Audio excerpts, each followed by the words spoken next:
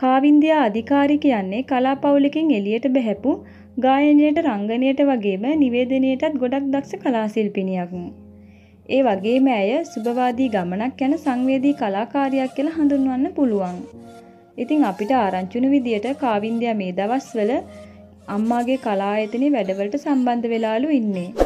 ඒ වගේම නිවේදන කටයුතු වලටත් සුපුරුදු විදියට එකතු වෙලා වැඩ කරනවලු.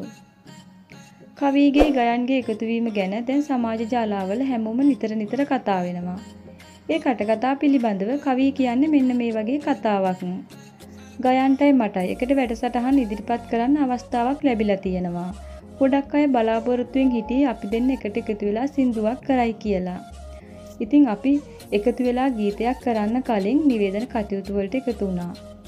අපි දෙන්නට ලොකු රසික පිරිසක් ඉන්නවා. ඒ අය හැමෝම අපිට ගොඩක් ආදරෙයි. ලැබෙන ප්‍රතිචාර වලින් අපිට ඒක පැහැදිලිව පේනවා. ගයන්ටයි මට එකට වැඩ කරන්න ලැබුණ එක ගැන මම ගොඩක් සතුටු වෙනවා. අපි ගොඩක් හොඳ යාළුවෝ විතරයි. එච්චරයි. එතනින් එහාට කිසිම සම්බන්ධයක් අපේ නෑ. ගොඩක් අය කියනවා ගයානි මමයි කලින් ආදර සම්බන්ධයක් පැවැත්තුවා කියලා. ඇත්තටම අපි දෙන්න අතර එහෙම දෙයක් නැහැ. අපි දෙන්න හොඳ තේරුම් ගැනීමක් තියෙන දෙන්නෙක්. අපි ප්‍රශ්නවලට මුහුණ දුන්නේ ගයානි මමයි ගොඩක් කතා කරලා තමා.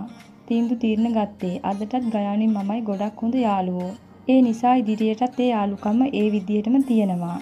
ඔන්න ඔය විදිහට තමා ගයාන් සහ කවි ගැන පැතිරෙන කටකතාවලට කවි පිළිතුරු දුන්නේ. ඉතින් අපිට හිතුණා මේ යාළුවෝ දෙන්නාගේ ලස්සන ඡායාරූප පෙළක් ඔබ වෙත ගේන්න.